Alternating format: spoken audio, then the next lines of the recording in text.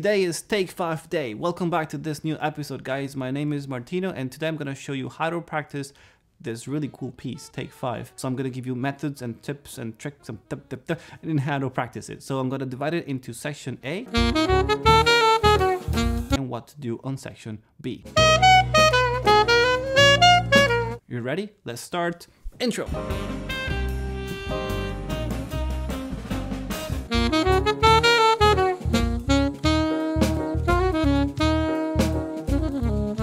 Section A of take five. Firstly, um, you want to ask yourself where is the melody starting? Okay, if you see there's a pickup, right? Okay, the actual piece well starts on the four. Okay, so we have five beats in the bar. One, two, three, four, five. We start on the four. Okay, that's where we start. One, two, three, four, five. Okay. So super important to know. So we have our metronome here, a bit, a bit slower, a bit under tempo. One, two, three. Okay, and that F sharp for us, um, for alto, is on the one. So super important to know that. Okay, I've seen people playing it like, or I'm exaggerating, but roughly that's what it is. Okay, now it's supposed to be swung, right? It has a swing feel, okay?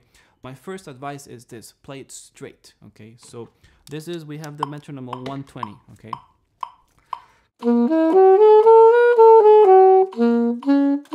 You know, all straight. Dogo, diga, dago, digi, one and two and three, uh, uh, uh, okay? Play straight, and then you apply the swing.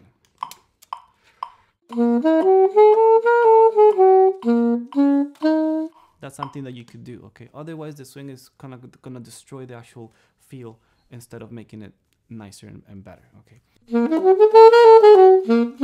Another very important thing is the end of this phrase. That dong ding to that what that is is basically you are together with the main riff on the piano. Bum bum do gun do ding dong gong gong. Okay, so when you play it together, either with the backing track or with the band or whatever, okay, you want to be sure that those two notes are perfectly in sync uh, with with everything else. Because I've I've seen people do or things like that. Okay, so that's a very important thing to know as well. When you play those 16 notes, and this is what you get. kind of thing, okay? There's two things you could do. Firstly, let's strip it down to the very skeleton of the piece, and we're gonna do this. We're gonna play. So we're not doing 16 notes, okay? We're just playing basically quarter notes.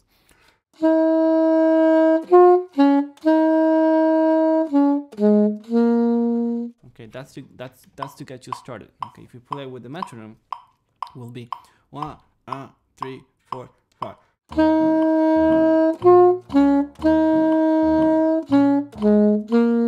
Okay, which is the most important thing because that forces you to actually think about the four and the five. Okay, and then you apply the 16 notes. Now, in order to get the 16 notes clear, okay, there's a trick that you can do in order to practice this. And i've gone uh, very detailed in a video that i'm going to link over here somewhere here okay uh, which is how to practice a fast piece. Now we're going to do it quickly here together. Check it out. So um, we have four 16 notes. Okay. Because it's fiddly it's it's a little bit annoying you know technically. We're gonna hold the first note and play the second one really quickly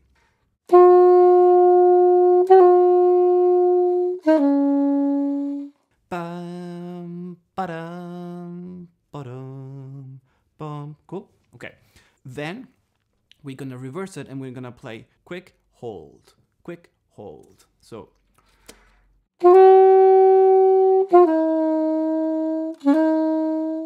Da-da, da-da, da-da. Okay. Then you can do it every four. Right. So you hold in the first and then super quick until the last. And then you can reverse it. Okay, that's super important until you get You know, it should be cleaner. So I would practice it if you're struggling with those 16 notes. I will practice it this way more than the actual normal way, okay? Uh, until that feels really comfortable, and then when you have to go and play the not the normal way, it'll be just super easy, okay? I think these are the main things for the A section. Now let's move to the B section.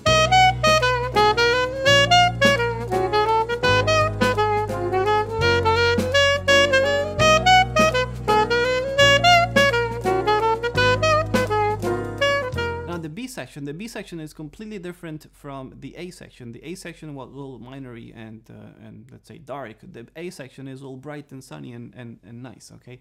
Now, because the rhythm is completely different from what we had in the A section, the rhythm, let's say it's a little bit more complex. So we're gonna do this. We're gonna split the bar into two two parts, four parts, two, into two parts, okay? And we're gonna do this together, okay? So I have my metronome at a one, still a 120, so we're under tempo, but that's okay, okay? And we're gonna play the first half of the bar together, and and we're gonna do that for the first one, two, three, for the first three bars of the piece, okay? Let me show you, and then you can do it with me again, okay? So 120, one, two, three, four, five.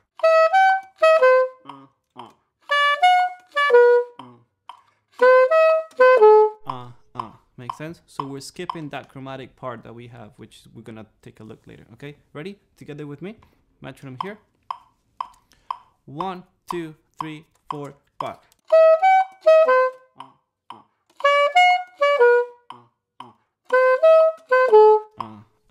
okay that's just to get the first part okay cool now we're gonna do exactly the same thing but we're gonna reverse it we're gonna rest for the first three beats and then we're gonna play on the chromatic part, okay? Here we go. One, two, three, four, five, one, two, uh.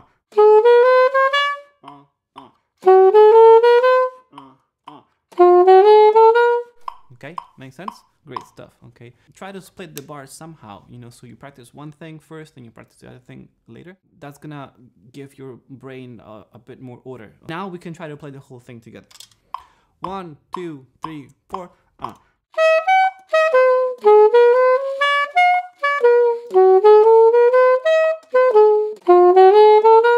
Now we're gonna move into this fourth bar of the B section, which is the, let's say the fourth bar I think is the most compli complicated. Let's do that, okay? So first half of the bar, fourth bar. One, two, three, four, five.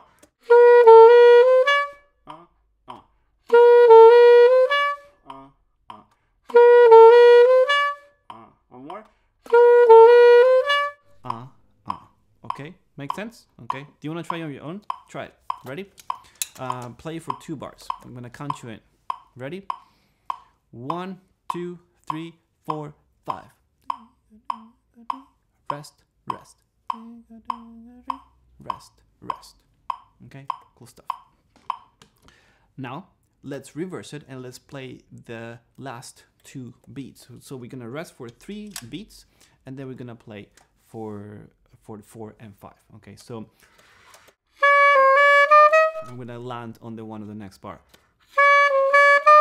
Make sense? Okay, let's try. So I'm gonna count you in 5 and then we're gonna rest for 3 and then we're gonna play. Do it with me first. We're gonna loop it for 4 bars. Here it is.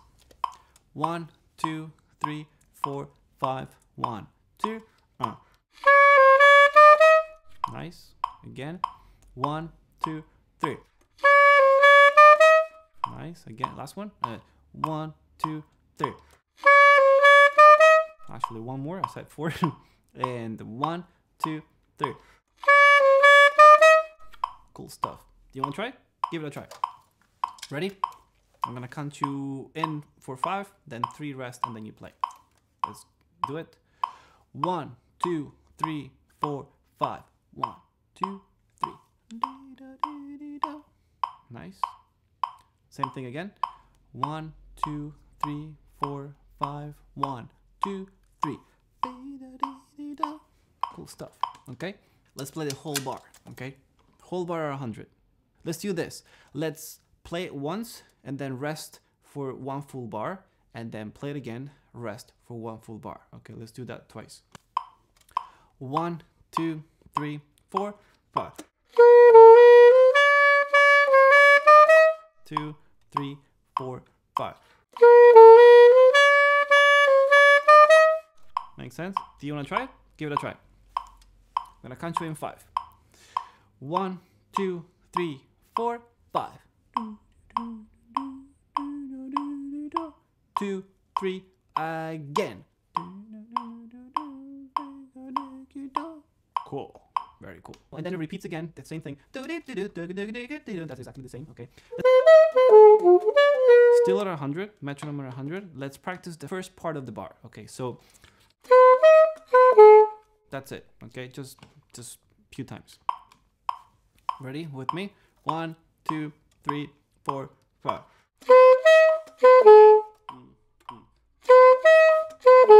Four, five. That's okay, right? Now let's reverse it and let's play the last two beats of the bar. Here we go. One, two, three, four, five. One, two, one. Once more. One, two, three, four, five. One, two, one. Cool. Shall we play the whole thing? Yeah, let's do it. Come on. One, two, uh.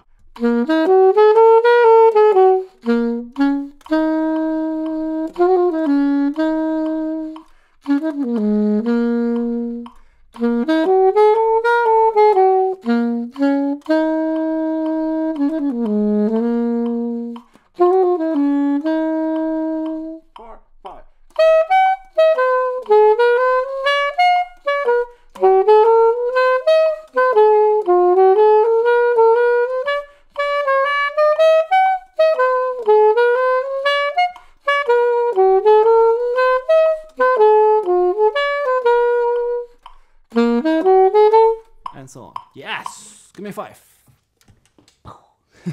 cool. What you want to do is you want to try to break down bars, sections as much as you can. That's the secret. You know, it's not playing from top to bottom a hundred times. It's actually to play little sections a hundred times so they actually become super strong and easy. Make sense? Guys, I hope you are good. Subscribe to see more videos like this. I have many videos planned that I want to do. And if you have any suggestions, you know, just always you can comment here below. If you have any questions about Take 5 or how to practice or, you know, whatever, comment here below as well. If you need any help with your saxophone playing, you can book a free discovery call with me so we can chat. I can learn about your background and we can just make a plan and give you more information about lessons. You can also join our saxophone performance classes on Patreon. We can deliver a pizza for you. No, I'm kidding. That's it, guys. And I'll see you in the next video. Take care. Música